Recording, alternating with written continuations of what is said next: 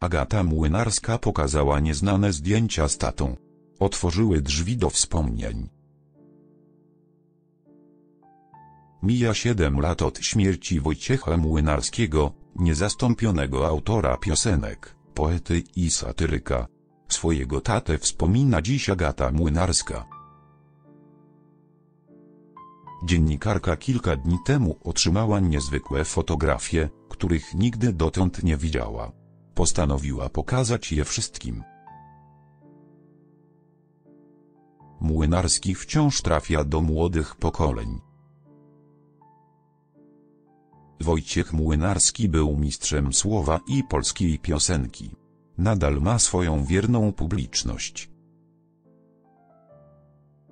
Napisał ponad dwa tysiące tekstów, a słowa do ponadczasowych przebojów Jesteśmy na wczasach, Jeszcze w zielone gramy czy Róbmy swoje nuci już kolejne pokolenie słuchaczy. To właśnie do najmłodszych Polaków odniosła się w swoim wpisie Agata Młynarska. Córka Wojciecha Młynarskiego ma marzenie, by jego piosenki śpiewali artyści młodego pokolenia. Chciałabym, żeby jego twórczość, mądre słowa, nadzieja, którą nam dają, były z nami cały czas, napisała Agata Młynarska.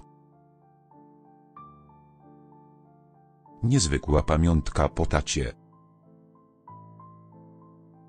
Agata Młynarska podzieliła się z internautami jeszcze jednym niezwykłym wspomnieniem. Kilka dni temu otrzymała od fotografa Cezarego Piwowarskiego zdjęcia, na których jest razem ze swoim tatą. Do tej pory nigdy ich nie widziała. Na zdjęciach z 2005 roku Agata Młynarska tańczy w parze ze swoim tatą. Fotografię zrobiono podczas jubileuszu artystycznego kompozytora Janusza Senta. Agata Młynarska nie miała dotąd po tym wieczorze żadnej pamiątki. Bardzo rzadko zdarzało mi się tańczyć z tatą na scenie. Ale poniosła nas swingująca muzyka, a jazz tata kochał nad życie. Świetnie też tańczył, napisała Agata Młynarska. Młynarski zostawił nas z nadzieją. Wojciech Młynarski swoje piosenki wykonywał sam, ale często trafiały też do repertuaru innych znanych piosenkarek i piosenkarzy.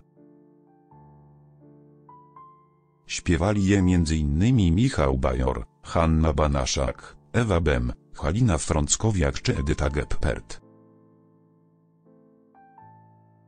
Chciałabym, żeby z okazji 7.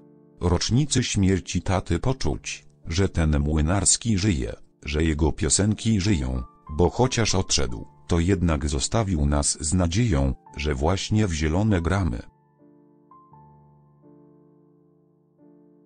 Ta nadzieja jest nam wszystkim bardzo potrzebna. Tata zawsze wierzył w to, że nadzieja czyni cuda. Zawsze był po tej jasnej stronie życia, podkreśliła Agata Młynarska.